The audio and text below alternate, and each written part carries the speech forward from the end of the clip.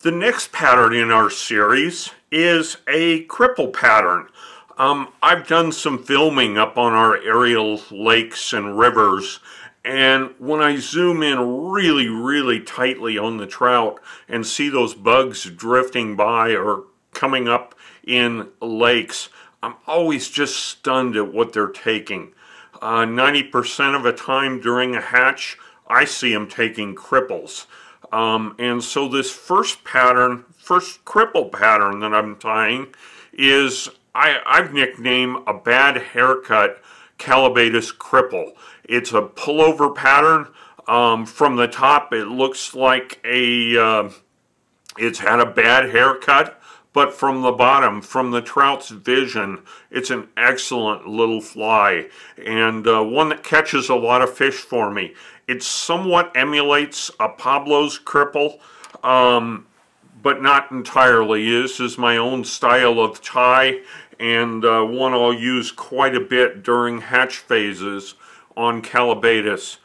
Now the next um, material I'm going to use is a whiting dry fly saddle. Uh, this particular saddle produces feathers in the 14 and 16 range, um, which is just perfect for Callibaetis.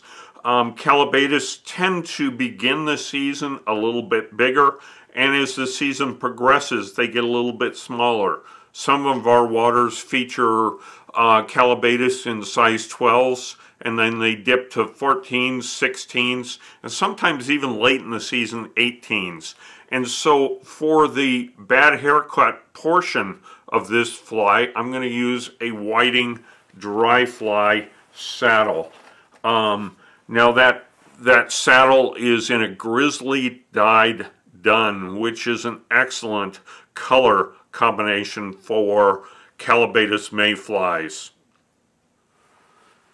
Okay, our next pattern we're going to tie is that bad haircut cripple pattern. So I'm going to begin by setting proportions. Um, I want to reserve that area forward of the fly for uh, the wing and uh, um, I'm going to go ahead and begin tying with my Zelon. I got to find it first on my desk. I get creating fly patterns and I get a very, very messy desk. I have pulled um, about a, a full hank of this Zelon material I get from Blue Ribbon Flies in Montana. And so that full hank I'm going to split into two and I'm going to use half of it for a trailing shuck. I want the image of a trailing shuck, but I don't want this to overwhelm the pattern. Um, it's giving a perception that this mayfly is emerging in the surface film. And so I want to have a nice trailing shuck about the length of the body on this mayfly. And so I'll tie that in. Next I'm going to tie with my biot, except um, instead of the biot coming from the leading edge of the turkey feather, I'm going to tie it with the trailing edge. And what that does for me is it gives me a little bit finer segmentation. As a mayfly emerges from nymph to a dun, and that's the process we're going through right now. It's going to get smaller and a little more delicate each time it emerges um, from its uh, shuck.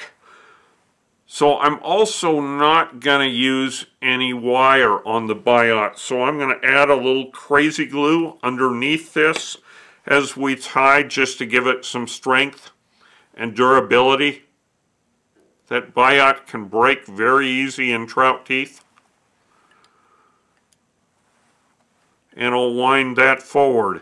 And you can see the wines on this are just subtly more delicate and a little smaller than I had on the nymph pattern. So I also shifted hooks. I went to a dry fly style hook um, that's 1x long. The nymph hook I was using was a 2x uh, long hook. Um, and so uh, it is a little bit smaller in stature as these nymphs emerge to a mayfly. When they shed that exoskeleton, they become smaller as um, as a mayfly. So I'm going to tie on my wing at this point in time. I'm using that Zelon again. Uh, and I've taken the full hank for the wing. I don't want to shortcut this one. So now I've taken a, a dry fly saddle and I'm going to go ahead and prepare that and ready it to tie on. Now, if anything, I oversized this slightly. So I'll go ahead and strip some barbs off the stem. I'm going to tie that in right back to that wing. Now here's kind of a little trick that I've learned in tying this given pattern.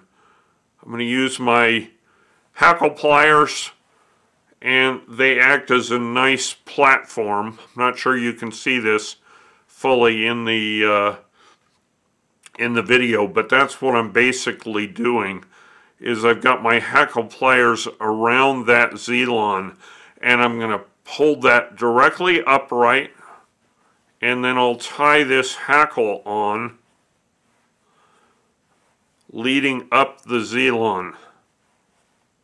So I'll tie maybe five or six wraps upward and then wraps to bring me down to that hook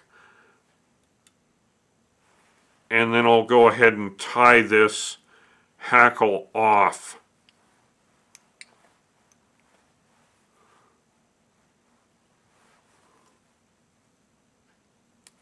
And I'll trim off the excess.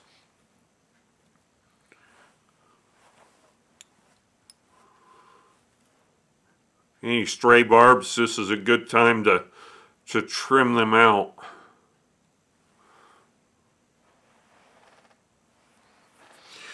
All right, now I'm going to again take my mix of superfine and UV dubbing and I'm going to tie that in to create the thorax on this pattern. So I'll spin that nice and tight. I'm going to pull this hackle out of the way And I'll tie that all the way back to cover up that thorax area and then let's wind all the way back to the head on this pattern.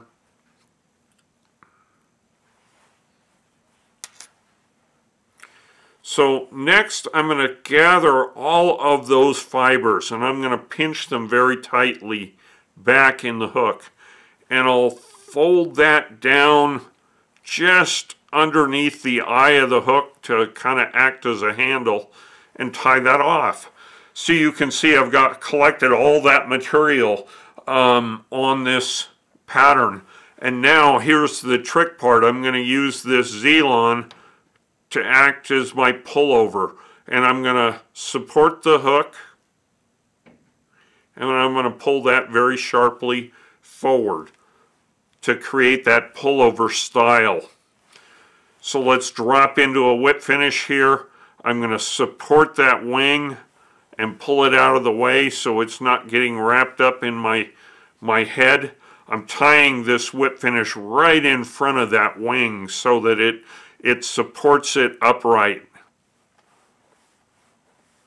or pushes it a little bit upright. And again, couple whip finishes and I'll trim that off. Now I'm going to trim the wing to be facing somewhat upward. So this is our little bad haircut uh, cripple.